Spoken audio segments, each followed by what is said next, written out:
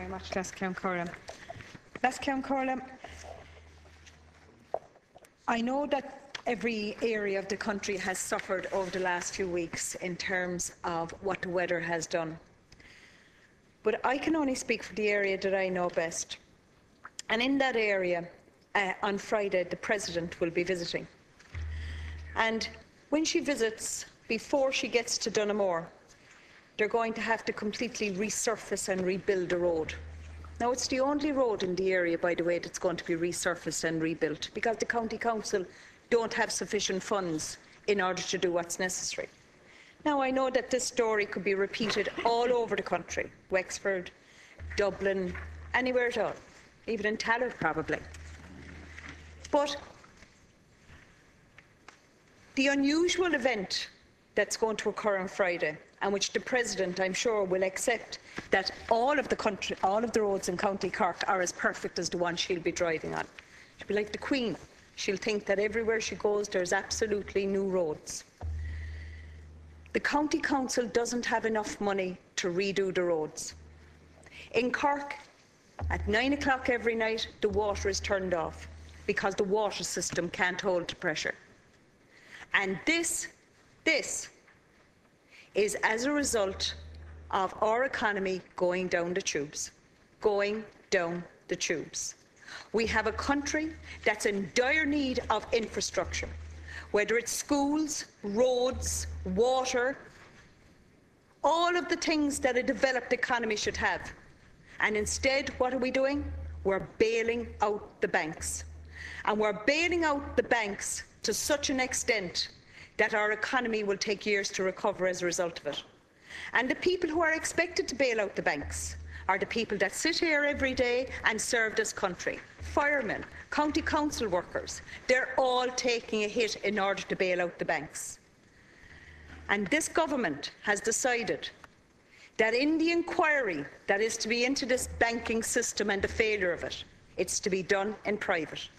And it's to be done in private because they know that were it to be done in public, that the same people who are angry about having their pay cut and about not having decent roads to drive on would revolt if they saw what really did happen. The lack of regulation, the continuous, by a minister in here that continuously told us, regulation is the dead hand and it should be lighter and in fact we should have none.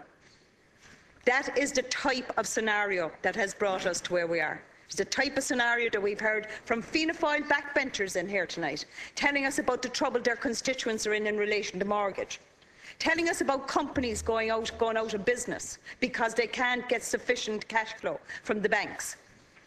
And we're not to know what happened. We're not to know what happened, and we will never know what happened.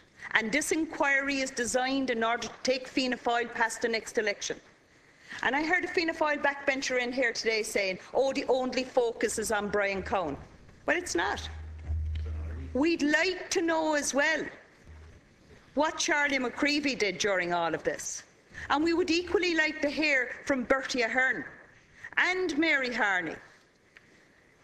And I don't even think I mentioned the Green Party at this stage because they don't appear to want to come in here at any stage now. John Gormley is like the Saatchi and Saatchi of the government. Every time I look, he's on the television, every time I turn on the radio, he's on that, but he's never in here. Never in here. And thank you. And we have an economy that's going down the tubes. And it's as a result of greed, greed, and lack of regulation. And yet, the very people that will now be charged with investigating what happened in this country, we will not be able to see what they're doing, who they're questioning, and what the answers are and we will eventually get a report, which will only lead us to another report. And yet, the ordinary person out there, the person that goes out and works every day of the week, will be paying not just for the crisis, but they will equally be paying for the investigation, which this government has decided that they are not entitled to see.